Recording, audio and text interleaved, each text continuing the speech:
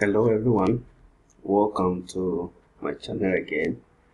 Uh, today we're going to do uh, cross-sectional dependence test uh, in panel data models. And today we're going to look at uh, specifically post estimation uh, test. Okay. In my previous video we talked about the pre-estimation test. So you might want to uh, look for that video and watch it. So today we're going to focus on post-estimation cross-sectional dependence test uh, I'll just give you some notes about this test and then I'll show you how to do the test in Stata and I'll also give you an example of how to present the test results in a research paper. Okay so let's get started. Uh, the post estimation uh, test uh, is done after you run uh, the fixed effect or the random effect models. So you need to estimate any of these models, either the fixed effect or the random effect. And then after that, uh, issue the command for the test. Okay. For this particular test that we're going to do today, we use this test with small t and large n. That is, you have a panel data where the time variable is smaller than the, the cross-sectional units. Uh, if you have a panel model, uh, panel data where your t is large and your n is small, then you have to use the LM test uh, post vibration uh, bigger. Uh, what's the command here? The command is to use xtcsd and then we have three options. And then you choose uh, the test by Pesaran, the test by Frees, or the test by uh, uh, Friedman. Okay. The null hypothesis in all of these tests is cross-sectional independence. Okay. Okay.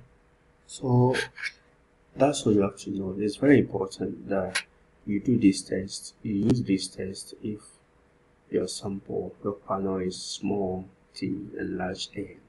Okay. Please, if it is large t and small n, then use the LM, the LM test. Okay. So let's uh, let me show you how to do this test. Hmm. So this is my data set. Okay, it's a panel as usual. Okay. So what we have to do first is to uh, xt set our variable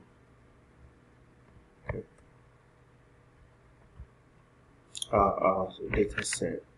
So I'm going to xt set id and year. Okay, so we need to run our model. We want to use a fixed effect model. So xtreg. Okay, and then we're going to choose our variables. Now you can list all your variables in your regression equation.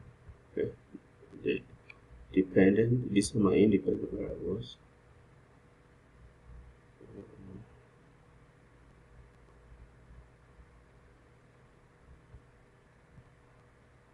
Okay.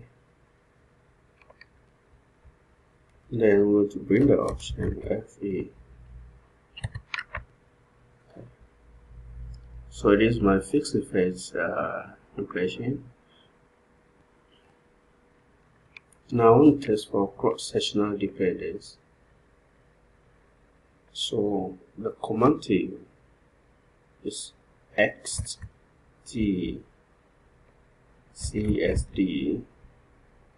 okay. And then you bring the option. Uh, I want to do the this around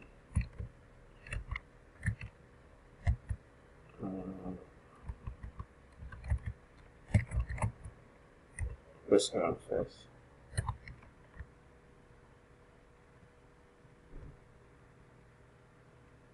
Okay.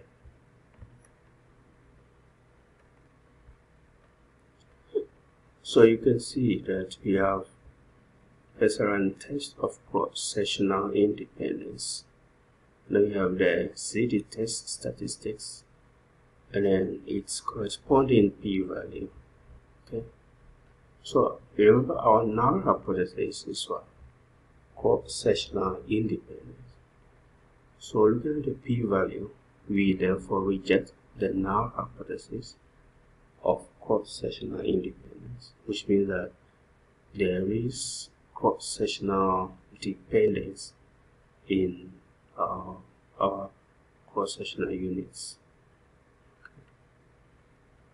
And then we can also try the other options. You can use the Friedman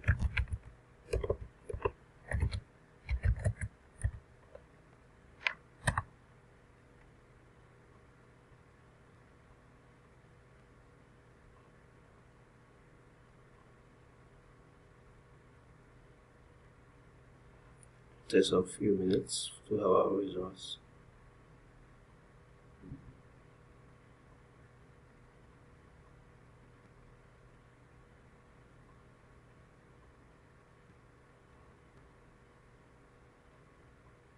Okay.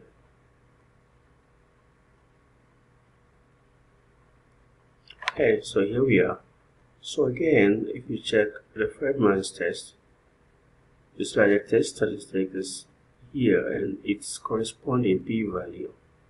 Again, we reject the null hypothesis of cross-sectional independence and therefore accept the alternative which is cross-sectional dependence. Okay. The last option that you can use is Frees. But mostly using only one will be okay for your research paper. So you can decide to use SPECIAL one like this. One is okay for a research paper. Or if you want to use two, you can do that also and put the results in your research paper. But we expect that each of these three is going to give us uh, similar outcomes. But of course, it may be possible that it can be different. So the first test is based on the Q distribution. So here we look at the critical values from the Q distribution. Uh, it's 10%, 5%, and 1%. You will see that if you look at the, the critical value at 1 is 0.23, uh, which is and then uh, from the Q, uh, Q distribution, the Frees, uh, statistics is, is beyond the critical value even at 0.01.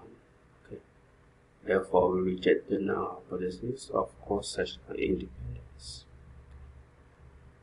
Uh, so this is how you go about doing the post-estimation test for cross-sectional dependence test in panel data analysis.